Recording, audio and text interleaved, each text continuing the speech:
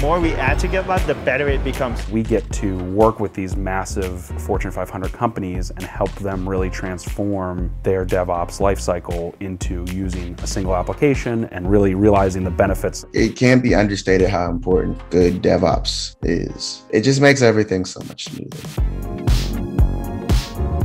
Contributing for GitLab is also actually something that I've been thinking of, and I would like to actually implement those ideas and just be able to contribute and just like get my code up there for a tool that we actually use. I feel that open source gave me everything. I am always encouraging people to contribute back and to understand open source.